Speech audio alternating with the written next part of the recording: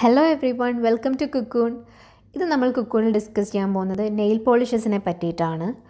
അപ്പോൾ ഈ nail polish എന്ന് പറഞ്ഞാൽ എല്ലാവരും നെയിൽ പോളിഷ് യൂസ് ചെയ്യുന്നവരല്ല. എന്നാലും നമ്മളുടെ ഇടയിൽ ഒരുപാട് പേര് നെയിൽ പോളിഷ് റെഗുലറായിട്ട് യൂസ് ചെയ്യുന്നവരുണ്ട് ഒക്കേഷണലായിട്ട് യൂസ് ചെയ്യുന്നവരുണ്ട്. കുഞ്ഞുങ്ങൾക്കൊക്കെ നെയിൽ പോളിഷ് ഇട്ട് കൊടുക്കുന്ന ആൾക്കാരുണ്ട്. അങ്ങനെ ഒരുപാട് ഒരുപാട് അമ്മമാർ കുഞ്ഞുങ്ങൾക്കും നെയിൽ പോളിഷസ് ഒക്കെ യൂസ് ചെയ്യുന്ന കണ്ടിട്ടുണ്ട്. അപ്പോൾ എന്താണ് നെയിൽ പോളിഷ് എന്തൊക്കെയാണ് ഇതിന്റെ ദൂഷ്യവശങ്ങൾ? കുഞ്ഞുങ്ങളുടെ നമ്മളെയൊക്കെ ഇതൊക്കെ എങ്ങനെ എഫക്റ്റ് ചെയ്യുന്നു? എന്നതിനെയൊക്കെ പറ്റിയാണ് നമ്മൾ ഇന്ന് ഡിസ്കസ് ചെയ്യാൻ പോകുന്നത്. അപ്പോൾ നെയിൽ പോളിഷ് എന്ന് പറഞ്ഞാൽ ആക്ച്വലി അതൊരു മിക്സ്ചർ ഓഫ് കെമിക്കൽസ് ആണ്. നമ്മളുടെ നഖത്തിൽ നെയിൽ പോളിഷ് അപ്ലൈ ചെയ്ത് കഴിയുമ്പോൾ കാണുന്ന ഒരു ഭംഗിയും ആ ഒരു ഫീച്ചേഴ്സും അതുപോലെ ഇളകി പോകാണ്ടൊക്കെ ഇരിക്കാൻ വേണ്ടിയിട്ടും ഈ നെയിൽ പോളിഷിൽ ഒരുപാട് കെമിക്കൽസ് ആഡ് ചെയ്യുന്നുണ്ട്. എന്തൊക്കെയാണ് ഈ കെമിക്കൽസ് എന്നും അത് നമ്മളെ ഇങ്ങനെയൊക്കെ അഫക്റ്റ് ചെയ്യുന്നു എന്നുമാണ് നമ്മളിന്ന് ഡിസ്കസ് ചെയ്യാൻ പോകുന്നത്. അപ്പോൾ നെയിൽ പോളിഷിൽ അടങ്ങിയിരിക്കുന്ന കെമിക്കൽസ് എന്തൊക്കെയാണെന്ന് നമുക്ക് ആദ്യം നോക്കാം. ഫസ്റ്റ് ഓഫ് ഓൾ നെയിൽ പോളിഷിൽ മിക്ക നെയിൽ പോളിഷിൽ ഏറ്റവും പ്രധാനമായിട്ട് കണ്ടുവരുന്ന ഒരു കെമിക്കലാണ് ടൊലുവീൻ ടൊലുവീൻ എന്ന് പറയുന്നത് നെയിൽ പോളിഷിൽ നെയിൽ പോളിഷ് മറ്റുള്ള കെമിക്കൽസിനെ അതിൽ ഡിസോൾവ് ആവാൻ വേണ്ടിയിട്ടാണ് ടൊലുവീൻ ആഡ് ചെയ്യുന്നത്. ഈ ടൊലുവീൻ ഉണ്ടാകുന്ന പ്രശ്നങ്ങൾ എന്താണെന്ന് വെച്ചാൽ സ്കിൻ ഇറിറ്റേഷൻസ് ഉണ്ടാക്കും. പിന്നെ ഹൈ ലെവലിലൊക്കെ ടൊലുവീൻ നമ്മൾ ഇൻഹെയിൽ ചെയ്യുവാണെങ്കിൽ നമ്മളുടെ നെർവസ് സിസ്റ്റത്തിനൊക്കെ ഇത് ഹാംഫുൾ ആയിരിക്കും. നമ്മൾ മാത്രമല്ല നമ്മളുടെ കുഞ്ഞുങ്ങൾ ചിലപ്പോൾ മിക്ക പേരൻസും ഒക്കെ കുഞ്ഞുങ്ങളെയൊക്കെ അടുത്തിരുത്തി ചെറിയ കുഞ്ഞുങ്ങളെയൊക്കെ അടുത്തിരുത്തിയിട്ടായിരിക്കും നെയിൽ പോളിഷൊക്കെ അപ്ലൈ ചെയ്യുന്നത്. അപ്പോൾ അവരും അത് ഇൻഹെയിൽ ചെയ്യും. ആ ബോട്ടിൽ തുറക്കുമ്പോൾ തന്നെ ഉള്ള ആ ഒരു സ്മെല്ലൊക്കെ ഇൻഹെയിൽ ചെയ്തത് അവരുടെ നെർവസ് സിസ്റ്റത്തിനെ എഫക്റ്റ് ചെയ്യും. ഇനി കുഞ്ഞുങ്ങളുള്ള അമ്മമാരുടെ കാര്യം മാത്രമല്ല പ്രഗ്നന്റ് ആയിട്ടുള്ള ലേഡീസും ഇതൊക്കെ ഇൻഹെയിൽ ചെയ്യുമ്പോൾ അവരുടെ ഉള്ളിലുള്ള എംബ്രിയോ ഡ്രോയിങ് സ്റ്റേജിലുള്ള എംബ്രിയോയെ ഇത് ഡെവലപ്പ് ഇത് എഫക്റ്റ് ചെയ്യും. അപ്പോൾ വളരെയധികം ശ്രദ്ധിക്കുക. ടൊളുവീൻ എന്ന് പറയുന്നുള്ള കെമിക്കൽ നെയിൽ പോളിഷ് പർച്ചേസ് ചെയ്യുമ്പോൾ ഉണ്ടോ എന്ന് നിങ്ങൾ ശ്രദ്ധിക്കുക.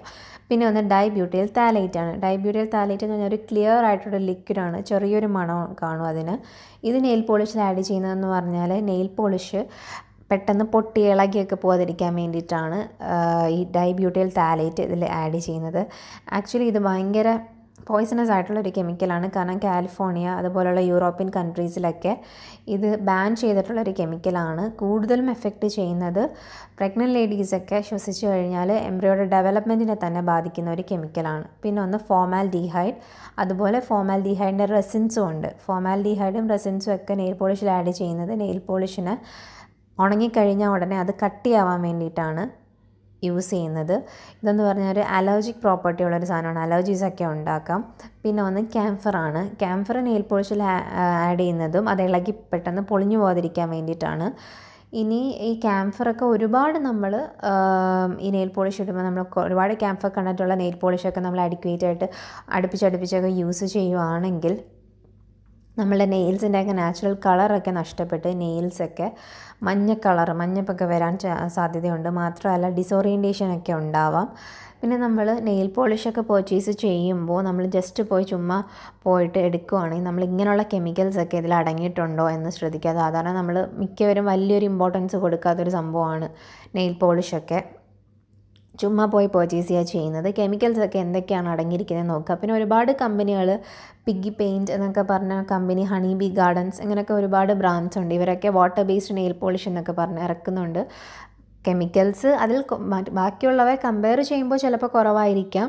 എന്നാലും കെമിക്കൽസ് ആഡ് ചെയ്യാതെ ഒന്നും നെയിൽ പോളിഷിന് അതിന്റെ ഒരു ഫീച്ചേഴ്സ് ഒന്നും വരത്തില്ല. അപ്പോൾ നിർബന്ധമായിട്ടൊന്ന് യൂസ് ചെയ്യുന്ന ആൾക്കാർ കുഞ്ഞു കുട്ടികളൊക്കെ ഉള്ളവരാണെങ്കിൽ സ്ഥിരമായിട്ട് യൂസ് ചെയ്യുന്ന ഒഴിവാക്കി ഒക്കേഷണലായിട്ടൊക്കെ മാത്രം യൂസ് ചെയ്യുക. യൂസ് ചെയ്ത് കഴിഞ്ഞാൽ തന്നെ അത് ഉടനെ തന്നെ റിമൂവ് ചെയ്യാൻ നിങ്ങൾ ശ്രദ്ധിക്കുക. മാത്രമല്ല കുഞ്ഞുങ്ങളുടെ അടുത്തിരുന്നുകൊണ്ട് അപ്ലൈ ചെയ്യാതിരിക്കുക. കാരണം ആ സ്മെല്ലൊക്കെ അവരുടെ ബാഡായിട്ട് എഫക്റ്റ് ചെയ്യും. പിന്നെ പ്രഗ്നന്റ് ആയിട്ടുള്ള ലേഡീസ് ആ ഒരു പ്രഗ്നൻസി പീരീഡിൽ ഈ നെയിൽ പോളിഷിന്റെ ഒക്കെ യൂസ് കുറയ്ക്കുക. അല്ലെങ്കിൽ നിങ്ങൾക്ക് പറ്റുമെങ്കിൽ ഉപയോഗിക്കാതിരിക്കുന്നതാണ് നല്ലത്. നമ്മൾ വെറുതെ ആ ഒരു കെമിക്കൽ കണ്ടന്റൊക്കെ ശ്വസിച്ചിട്ട് അത് കുഞ്ഞിനെ എഫക്റ്റ് ചെയ്യുന്ന രീതിയിലുള്ളൊരു സംഭവമാണെങ്കിൽ നമ്മളത് ഒഴിവാക്കുന്നതായിരിക്കും നല്ലത്. മറ്റൊന്നെന്ന് പറഞ്ഞാൽ ചെറിയ കുഞ്ഞുങ്ങൾക്ക് നെയിൽ പോളിഷ് അപ്ലൈ ചെയ്ത് കൊടുക്കുന്ന ഒരുപാട് പേരെ കണ്ടിട്ടുണ്ട് കുഞ്ഞുങ്ങളുടെയൊക്കെ കയ്യിൽ. ഒരു കാരണവശാലും നിങ്ങളത് ചെയ്യരുത്. കൂടുതലും ഒരു എയ്റ്റ് മന്ത്സ് നയൻ മന്ത്സിലൊക്കെ താഴെയുള്ള കുഞ്ഞുങ്ങൾക്ക് ഒരു കാരണവശാലും എത്ര ഒക്കേഷണൽ ആണെന്ന് പറഞ്ഞാലും നിങ്ങളത് ചെയ്യരുത്. കാരണം എപ്പോഴും കൈയൊക്കെ വായിൽ കൊണ്ടുപോകുന്നൊരു പ്രായമാണിത്.